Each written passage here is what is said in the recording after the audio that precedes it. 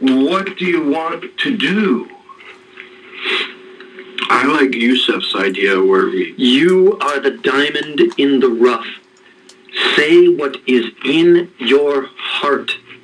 Does that sound like someone with a master plan? He was the first one to mention Pioneer Square. The November 4th test bomb was completely orchestrated by the FBI. Yeah, The defendant had nothing to do with this plan. true. You say again to the defendant, the less you know, the better. Yeah, You were at the site the day before with several other agents.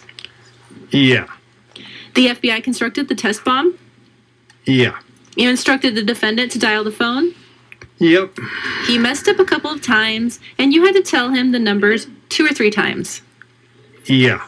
Let's finish up with audio from the car ride back. Do you know anything about explosives, my love? No, uh, except for Piccolo Pete. You know the one you put in a Gatorade bottle? Piccolo Pete.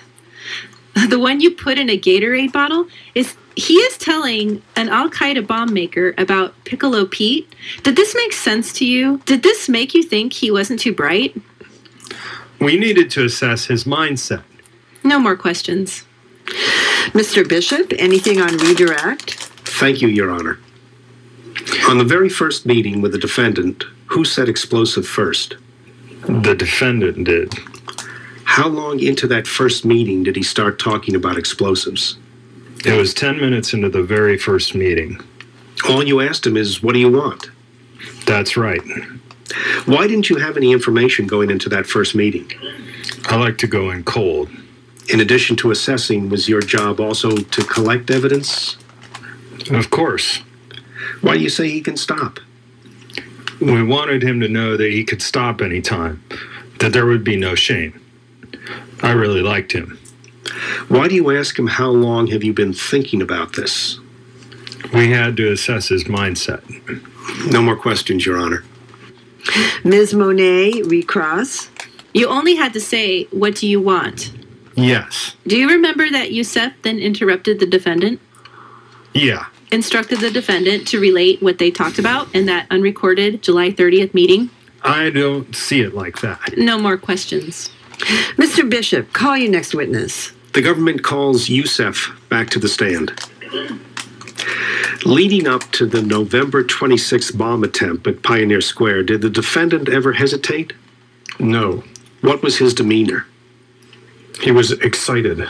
Can you go over the chronology on November 26th? I picked up the defendant in Beaverton. We went to the Home Depot.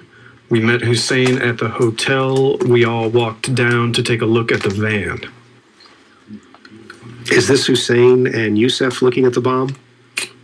A plain white no window van viewed from the back.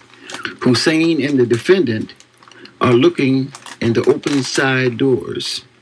Yes, the defendant said he loved the smell. Then what happened? We went back to the hotel for a meal.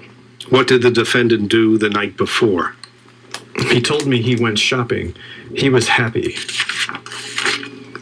Why were you nervous? For the defendant's consequences. We had built a relationship. When's the last time you saw him? After arming the bomb at Pioneer Square, they walked to the bike store where I picked them up. They dropped me off at the train station. The defendant seemed at peace. The No more defendant seemed questions, at Your Honor. We're listening to the original KBOO docudrama Mo is Shy, and we will return in just a moment.